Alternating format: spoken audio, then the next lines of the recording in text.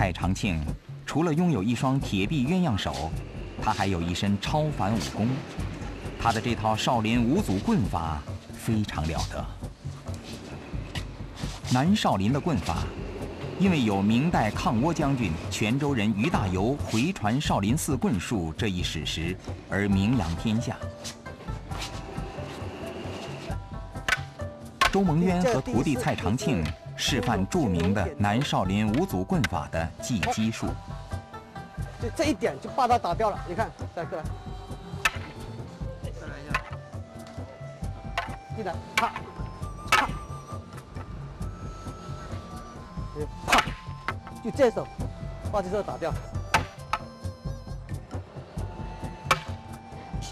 看一下取上的这招式，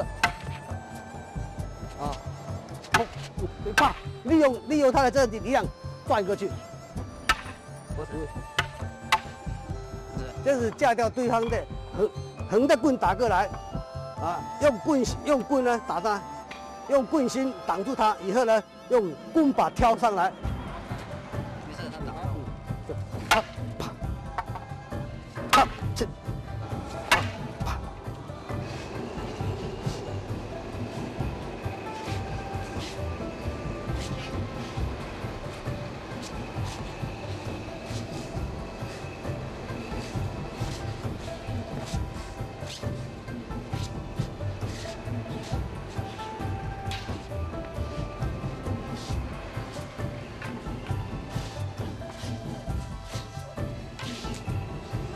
习武多年的蔡长庆，对于武术有着很深的感悟。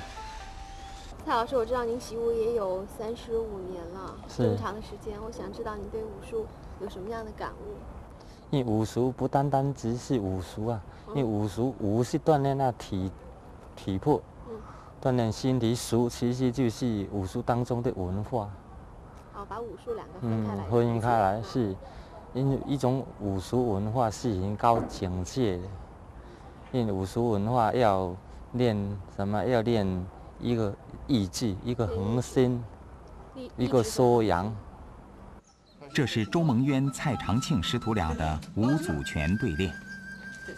五祖拳有达摩、太祖、罗汉、行者、白鹤五种拳法同具一门。五祖拳属外家功法拳术，其间又包含许多内家功法的修炼。五祖拳对练突出实战技法，以刚猛著称，而变化微妙，刚中藏柔，善于守而利于进攻短打。南山五祖拳是一个一种比较有实用价值的拳术，它的实用价值就是说打了起来就比较尽心，它可尽心打法，是金刚出世，这个是连消带打的方法。如果呢，这手臂的架掉以后呢，就来，就这个下。第二招是说不不迎退跃，这是个连消带打的方法。我这我听过。来，这招是一拨，一拨一插，就我这样插。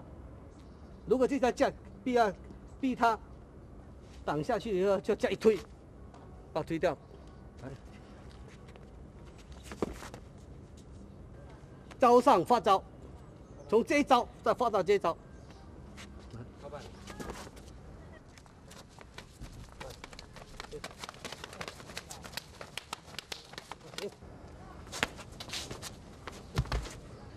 左偏门用两个手打他一个手，你他就打过来，用两个手打他一个手，左偏门。如果是这，这一手逼他，逼他架掉以后呢，再另外再发一手来，啪，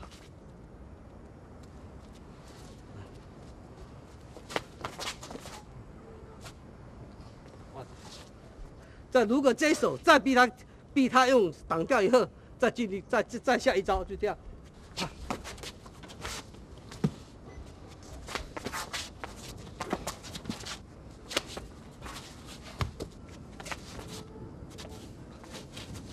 这一招叫醉汉猜拳，是用移形换位的方法来同时打击对方。如果这架到会，啪一手一脚，如果这手臂挡掉了，啪，这一下啪。如果这下臂臂他用用那个下面挡着挡过去的话，就进一步把它摔掉。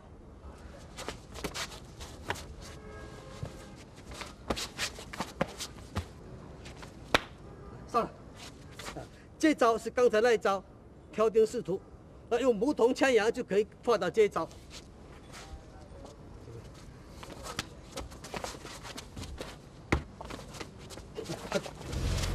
百挂，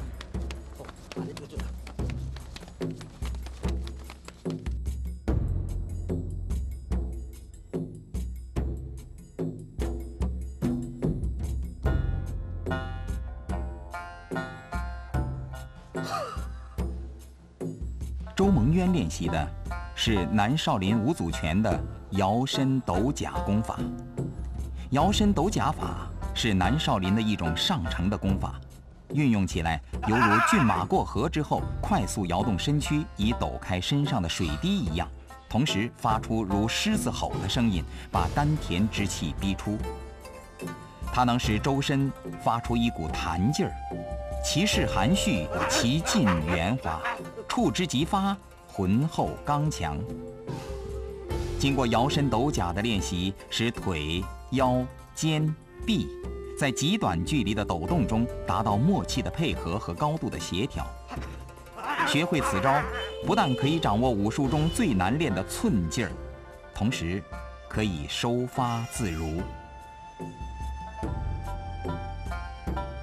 摇身抖甲的过程，就是对腹腔的脏器进行由轻到重的自动按摩的过程。加上狮子吼功法的应用，对腹腔脏器的抗击能力、生理功能的提高和保健，有着特殊的意义。易筋经是达摩祖师传下的一套经典的养生功法，是南少林五祖门必修的内功心法。通过易筋经的练习，对身体各部分肌肉做一定程度的拉伸，增加关节的负荷，再配合呼吸吐纳与内气的导引，筋腱与肌肉进行一紧一松的运动。这样不但可以增加全身关节与筋腱的韧性与柔软性，提高关节和肌肉的力量与活力，同时可以解除肌肉的疲劳。任脉是全身呢，任脉啊是全身阴脉之首，督脉是全身阳脉之首，它是在前面是阴脉之首。啊阴脉是阳脉之首，他们是控制整个身体的经络，所以通过这样锻炼的话呢，就可以呢通经活络，通经活络去调养调养阴阳啊，调整整个身体的这个机能跟状态，就可以增加免疫力啦。因为有一句话叫做“气正邪不生”啊，如果我们身体的充有个气充派了，那邪恶的邪的就不能够进到我们身体里面来了，那我们身体就健康了。易筋经的训练注重心法，这种心法可以理解为一种思维，它是以我国中医的经络学说为依据，用来导引气在身体中的周流。易筋经可以作为养生的修炼，也可以作为武术功力的训练，更可以作为非药物治疗的康复锻炼。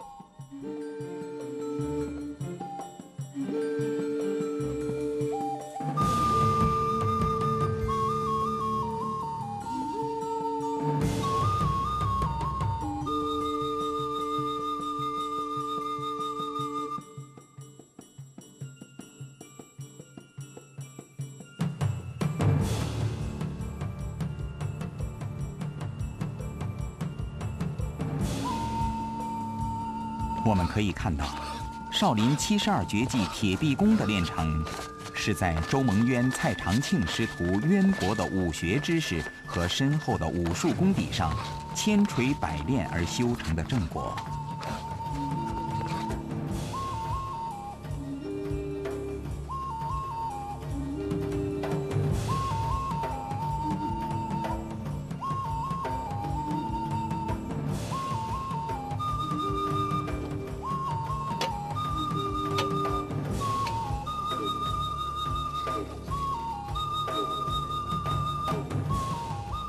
蔡长庆跟我们谈起了铁臂功的后继人问题。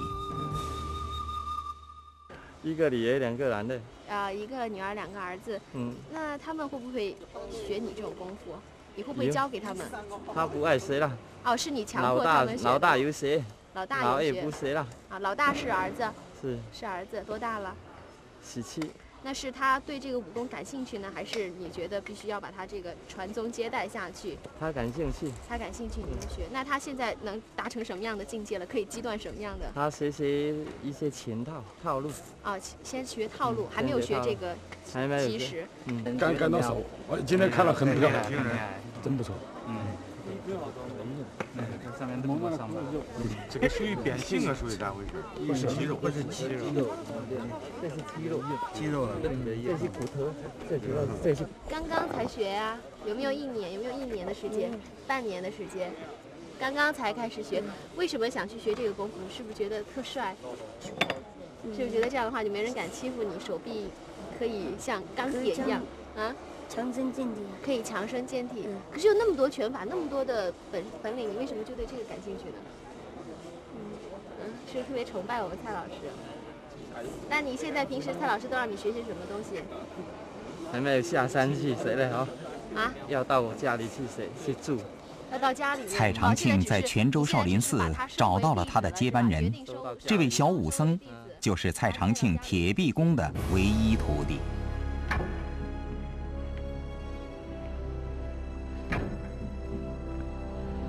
领略了蔡长庆天下第一铁臂的神功。相信大家都会为少林功夫神奇奥妙的技艺博大精深的内涵所折服。